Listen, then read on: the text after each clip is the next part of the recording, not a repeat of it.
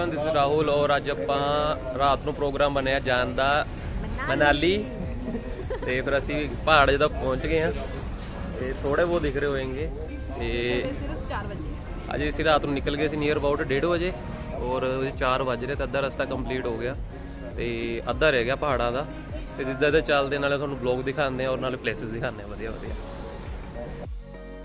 ਰਜਨੀ ਮੇਰੀ ਸਿਸਟਰ ਨਾਲ ਇਹਨਾਂ ਦੀ क्या लगे ਮਾਈ ਸਿਸਟਰ ਇਨ ਲਾ सिस्टर इन लो जीजू जो जीजू दी सिस्टर है आपका नाम मैम इंट्रो ਰੁਪਿੰਦਰ ਕੌਰ रुपिंदर कौर उफ उफ रूबी उफ रूब ਤੇ ਸੀਪੀ ਦੇ ਕੋਲ ਦਾ ਆਪਣਾ ਬਲੌਗ ਬਣਿਆ ਔਰ ਇਹ ਟੂਰ ਬਣਿਆ ਕਿਉਂਕਿ ਸੀਪੀ ਨੇ ਆਣਾ ਸੀ ਘੁੰਮਣ ਤੇ ਨਾਲ ਸਾਨੂੰ ਵੀ ਲੈ ਆਇਆ ਤੇ ਇਕੱਲੇ ਆਣਾ ਸੀਗਾ ਨਹੀਂ ਨਹੀਂ ਛੋਟੇ ਨਾਲ ਚਲੋ ਤੇ ਸੀਪੀ ਸਾਡੀ ਡਰਾਈਵਿੰਗ ਕਰ ਰਿਹਾ ਹੈ ਤੇ ਬਹੁਤ ਵਧੀਆ ਡਰਾਈਵ ਕਰਦਾ ਐਂਡ ਅੱਧਾ ਸਫ਼ਰ ਸਾਡਾ ਹੋ ਗਿਆ ਔਰ ਅੱਧਾ ਰਹਿ ਗਿਆ ਤੇ ਜਿੱਦਾਂ ਜਿੱਦਾਂ ਅੱਗੇ ਜਾਂਦੇ ਹਾਂ, ਆਪਾਂ ਤੁਹਾਨੂੰ ਬਲੌਗ ਦਿਖਾਉਂਦੇ ਹਾਂ ਪੂਰਾ ਉਹ ਪਿੱਛੇ ਪਹਾੜ ਦਿਖ ਰਹੇ ਨੇ।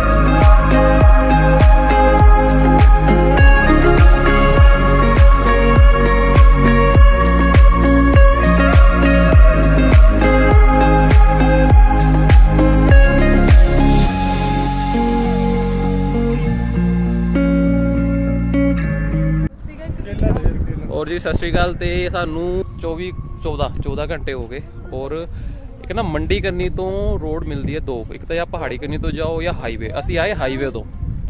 ਠੀਕ ਹੈ, ਤਾਂ ਉਹ ਹਾਈਵੇ ਤੇ ਹੀ ਸਾਨੂੰ ਰੋਡ ਇੰਨੀ ਖਰਾਬ ਮਿਲੀ ਕਿ 15 ਦੀ ਸਪੀਡ ਤੋਂ ਉੱਪਰ ਕਾਰ ਨਹੀਂ ਚਲਾ ਸਕਦੇ ਉਹ ਤਾਂ ਕੋਈ ਆ ਰਿਹਾ ਤਾਂ ਟਰਾਈ ਕਰਿਓ ਕਿ ਪਹਾੜੀ ਕਰਨੀ ਤੋਂ ਆ ਜਾਓ ਕਿ ਉਰੇ ਦਾ ਐਕਸਪੀਰੀਅੰਸ ਸਾਡਾ ਬੇਕਾਰ ਰਿਹਾ। ਦੈਨ ਹੁਣ ਸਾਫ਼ ਰੋਡ ਆ ਗਿਆ, ਹੁਣ ਥੋੜਾ ਰੈਸਟ ਕਰਕੇ ਫਿਰ ਅੱਗੇ ਜਾਵਾਂਗੇ। ਪਰ ਪਹਾੜੀਆਂ ਬਹੁਤ ਸੋਹਣੀਆਂ।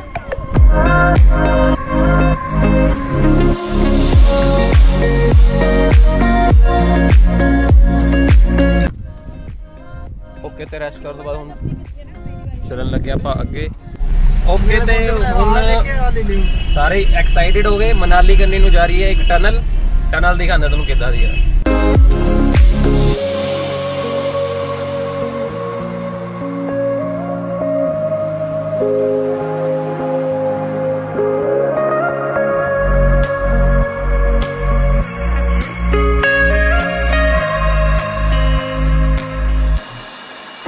ਟਨਲ ਤੋਂ ਬਾਹਰ ਨਿਕਲੇ ਨੀਅਰ ਅਬਾਊਟ 4 ਜਾਂ 5 ਕਿਲੋਮੀਟਰ ਲੰਬੀ ਟਨਲ ਸੀ, ਜਿਹੜੀ ਮਨਾਲੀ ਨੂੰ ਆਉਂਦੀ ਹੈ।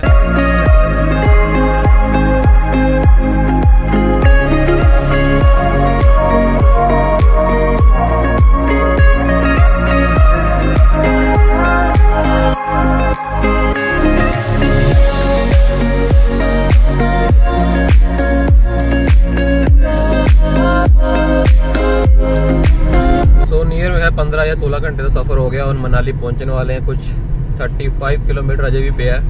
सो देखते हो तो जाए कितना रहता है और मौसम कि तो वो भी दिखाने हैं।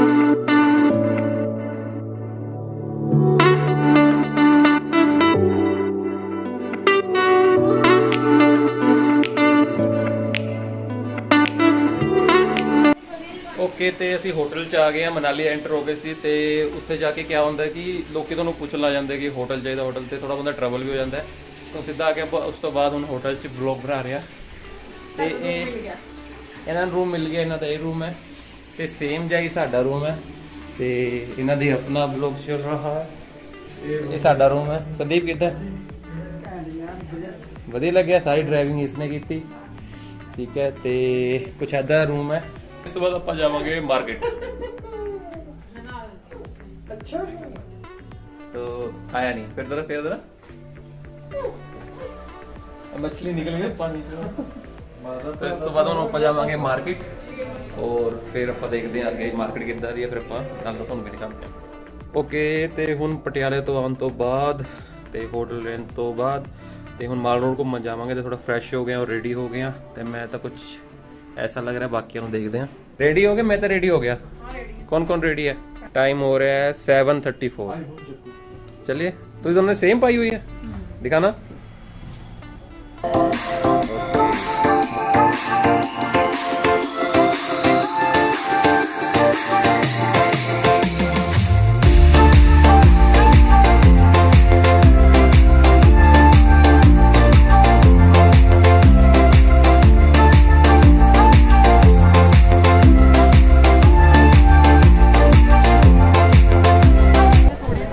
ਮਾਲ ਰੋਡ ਦਾ ਕਿਹਾ ਜਿਵੇਂ ਕੋਈ ਆਪਾਂ ਕਹਿੰਦੇ ਲੋਕਲ ਮਾਰਕੀਟ ਹੁੰਦੀ ਹੈ ਅੱਛੀ ਮਾਰਕੀਟ ਹੈ ਪਰ ਟੂਰਿਸਟ ਆਉਂਦੇ ਆ ਤਾਂ ਟੂਰਿਸਟ ਪਲੇਸ ਇੱਕ ਵਧੀਆ ਬਣੀ ਹੋਈ ਹੈ।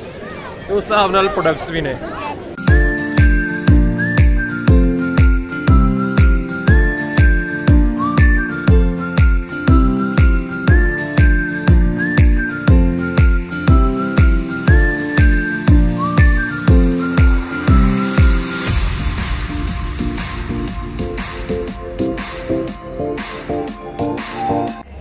ਤੇ ਹਿਮਾਲਯਨ ਢਾਬਾ ਤੇ ਅਸੀਂ ਡਿਨਰ ਕਰਿਆ ਸੀ ਕਿੱਦਾਂ ਲੱਗਿਆ? ਵਧੀਆ। ਸੀ ਨਾ? ਤੇ ਕਿਸੇ ਨੇ ਕਰਨਾ ਹੋਏ ਡਿਨਰ ਉੱਥੇ ਕਰ ਸਕਦਾ ਬਜਟ ਫ੍ਰੈਂਡਲੀ ਵੀ ਆ ਵਧੀਆ ਵੀ ਹੈ। ਤੇ ਹੁਣ ਆਪਾਂ ਖਾਵਾਂਗੇ 8 ਇਨ 1 ਸੌਫਟੀ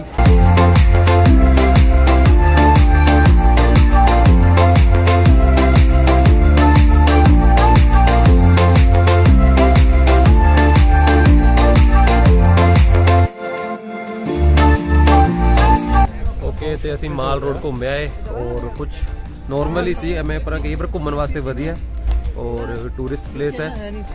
ਤੋ ਹੁਣ ਆਪਾਂ ਜਾ ਰਹੇ ਆਪਣੇ ਹੋਟਲ ਵਾਪਸ।